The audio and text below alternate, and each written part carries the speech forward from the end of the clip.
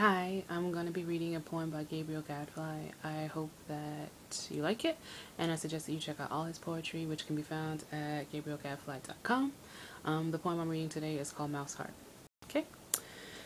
In the dark, when I cannot see the shape of your body, you seem even smaller than your smallness. You are still trembling, the little needles of your fingernails burrowed into my arm. This is my favorite moment, curled against you, my ear against your back I am listening to the rapid patter of your small mouse heart, to the quick mouse breaths you are breathing. Ta-da! I hope you liked it. Bye.